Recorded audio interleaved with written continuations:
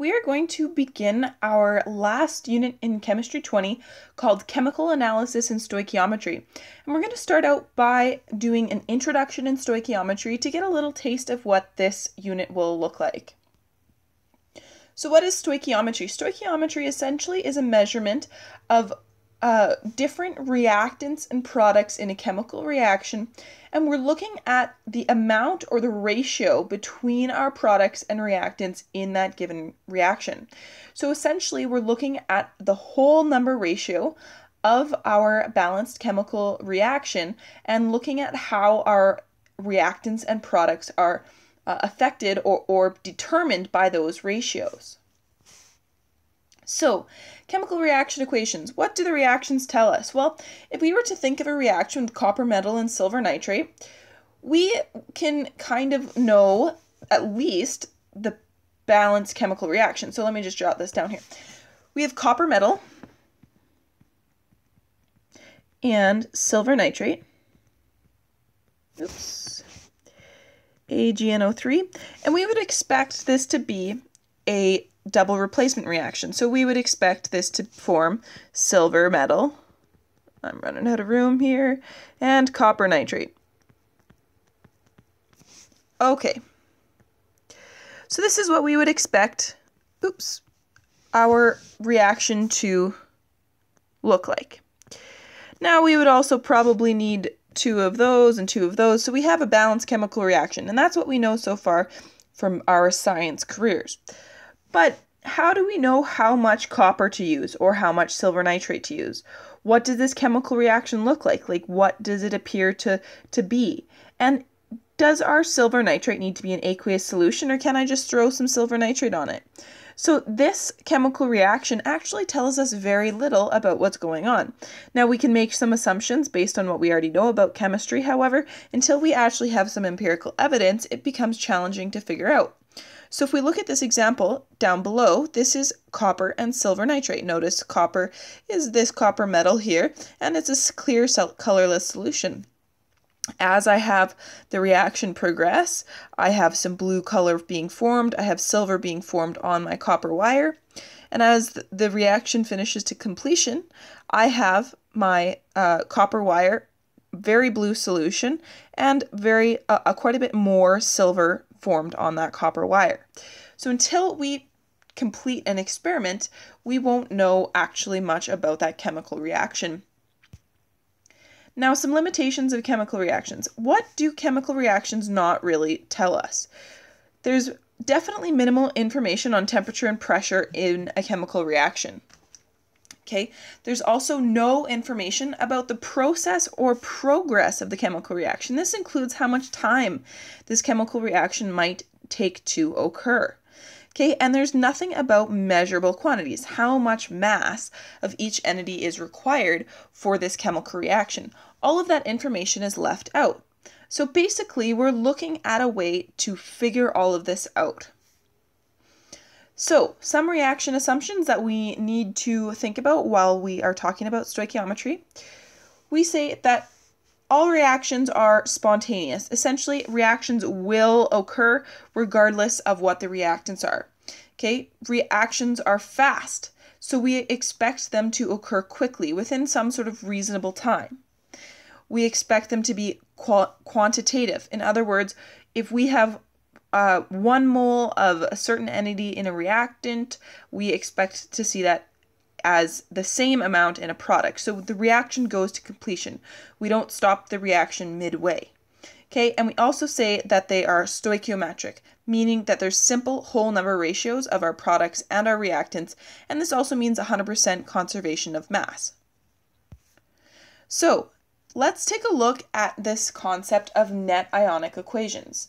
Now, Net ionic equations are essentially a way to tell us what is really going on in a chemical reaction. A little bit, uh, at least a little bit more than what our sort of standard chemical reaction is. So again, if we look at our example of copper and silver nitrate, Dissolving in a reactant is often an easy way to get entities separated from each other so that they can collide with entities of another reaction. We know that if we have an ionic compound and we dissolve it in water, it becomes two ions, the cation and the anion, because of the dissociation. So those dissociated ions can then collide with different entities of another reactant, in this case, copper metal. So the chemical analysis techniques are required to determine how much solute is in an aqueous solution. So we require some sort of uh, analysis to figure out how much solute is dissolved in an aqueous solution. Now we know that ionic compounds, uh, like acids and bases, and ion uh, and including ionic compounds, dissociate. So when we write ionic equations, we know that we can dissociate our aqueous ionic so, com, uh, compounds and say that they are aqueous. So what I would do is if I'm looking at my example example of my silver and copper nitrate, in my net equation it looks something like this. Copper solid plus silver nitrate, which is what we've seen so far, gives us silver solid and copper nitrate. And when we balance this, we have two of these and two of these, and these are aqueous, and these are aqueous. So I'm just going to zoom in here so we can see this really good.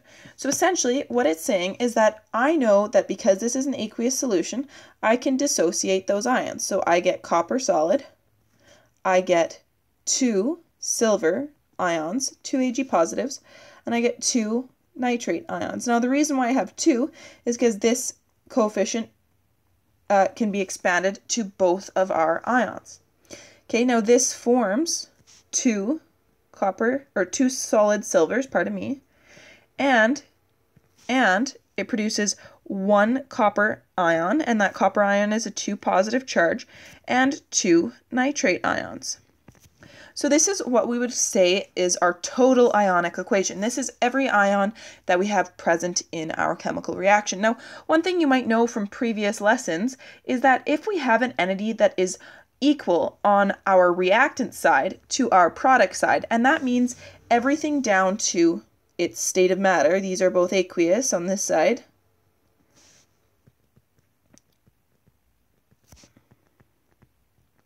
we see that we can cancel out common entities. So I have copper solid, and on this side I have copper 2 positive. These are not completely identical. I have a copper atom on my reactant side and a copper ion on my product side, so I can't cancel those out. Same with silver, I have silver ions on my reactant side and silver atoms on my product side.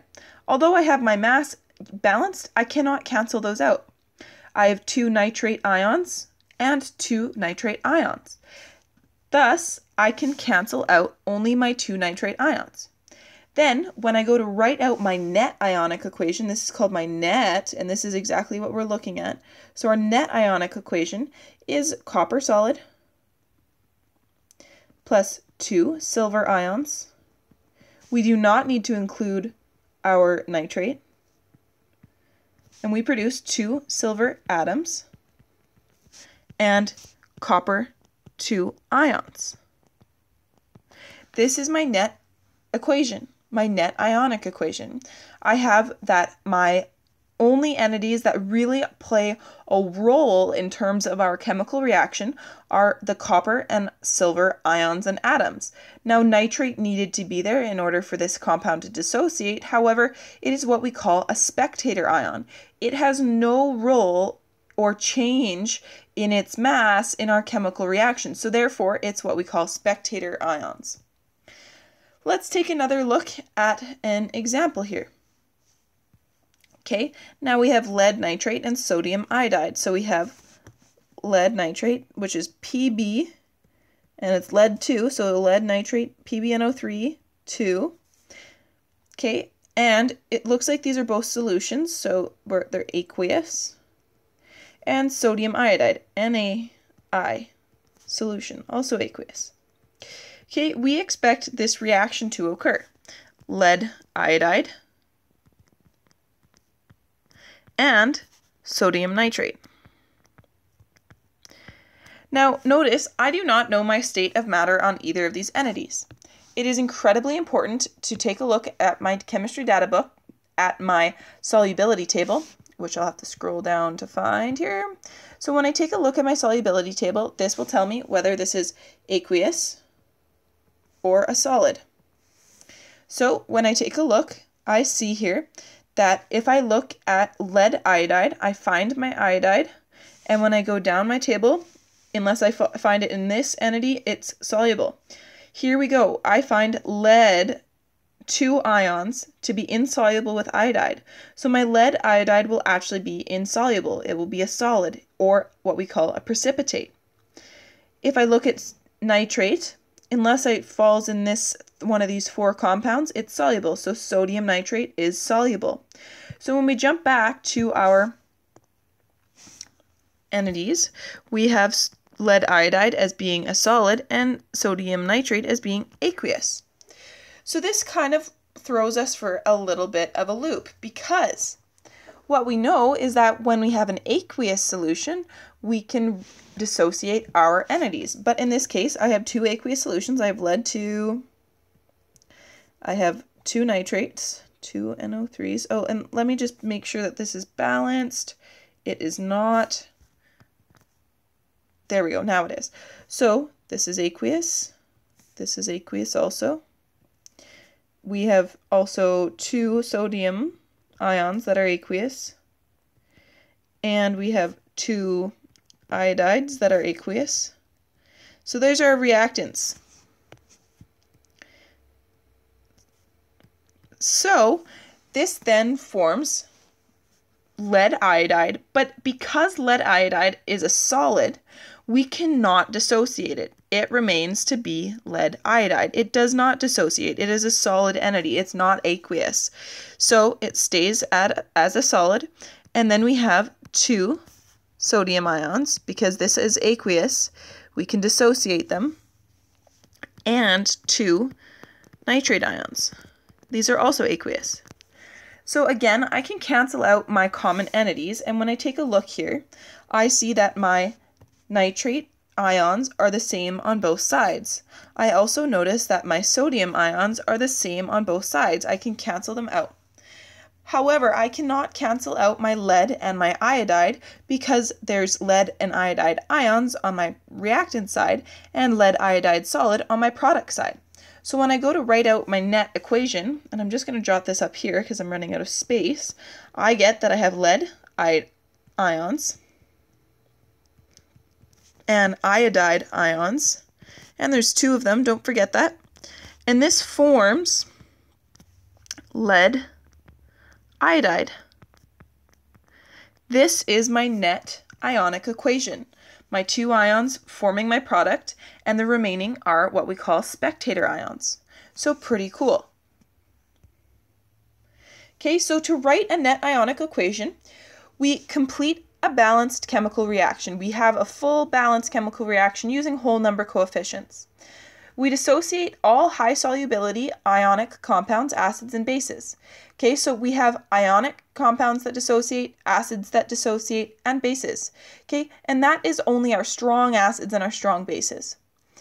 Okay, we cancel out identical entities that appear on both the reactant and product sides, and we write the net ionic equation reducing coefficients if necessary. Now, essentially, we only we if we have solids, liquids, or gases, and let's write that down. If we have solids, liquids, or gases that are produced in our chemical reaction, they have to remain as a solid, liquid, or gas. They will not ionize. So if I get, um, like in my previous example with my lead iodide, it was a solid, I leave it as a solid in my chemical reaction. It does not dissociate or ionize. Okay, so that is very important. If you see anything that is sort of in its full elemental state or if it's in a solid, liquid, or gas, it's not aqueous, okay, we leave those entities as they are and we do not change them or dissociate any of those. Okay? So, another thing to note is that we can have these things called limiting reagents and excess reagents. Now, a limiting reagent is essentially a reactant whose entities are completely consumed in a reaction And an excess reagent is the reactant whose entities are present in surplus amounts, so that some is remaining at the end of the reaction. Now, this often occurs in our chemical reactions because we have an entity that will be used up first. So, uh, a good way to think about this is if we have our example with our lead iodide, uh, sorry, our lead nitrate and our sodium iodide reacting together, if I have a beaker of sodium nitrate and I or sodium iodide, sorry, and I have just a dropper full of lead nitrate, okay, that reaction is not going to move forward very rapidly, or if it does, it's not going to be a complete reaction because we have way less of our lead iodide, or sorry, I should write this out so I keep on saying the right thing. We have lead nitrate and sodium iodide. So, like I said, if you have this and you have a beaker full of sodium iodide and only one drop of lead nitrate, okay, you have a lot more or you have excess of sodium iodide and limiting of lead nitrate. So this would not be a full complete reaction. Okay, we would have a limiting reagent and an excess reagent. Unless we measured out the exact quantities of each to have a complete reaction, okay, this there will always be a limiting and excess reagent unless we calculate perfect ratios of our chemical amounts. All right, so this was just the basic introduction into our stoichiometry unit. There's three more stoichiometry lessons to follow one on gravimetric stoichiometry, one on gas stoichiometry, and one on solution stoichiometry, which are super interesting. So, if you need to go back, take any notes, or, or go through some examples, please do that now. And good luck.